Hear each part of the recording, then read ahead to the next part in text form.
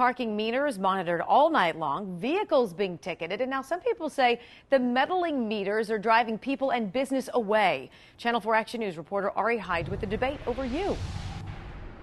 Yeah, let me show you what we're talking about here. It's the uh, new parking rates here in the city. $3 an hour. That means for a quarter, you're getting just a nickel, hardly a bargain. Here's another change we've got. Look at the sign here. It used to be enforced until 6 o'clock. Now it's enforced until 10 o'clock, except for on Sunday. The restaurant owners down here tell me it's as if city officials are trying to chase business away. Lisa Morales is from Cleveland, and she is not enjoying her visit to Market Square. And it's not taking my card? Morales had to interrupt her husband's birthday dinner to step outside and feed the meter.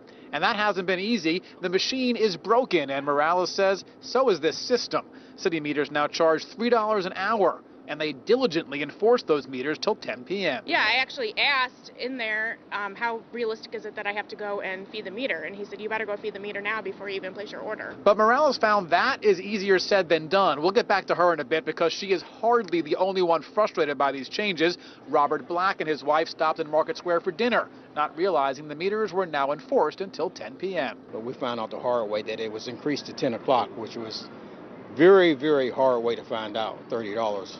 Yeah. It's an expensive fish sandwich. Oh, it was very expensive. Let's check back in with Lisa. Still trying, still frustrated. Yeah, this machine is not even working right. And if the customers are this frustrated, what do you think it's doing to business down here?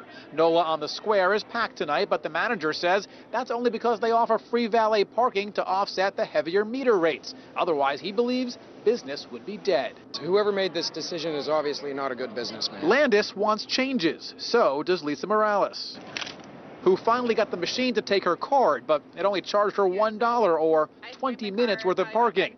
That means dinner will soon be interrupted again.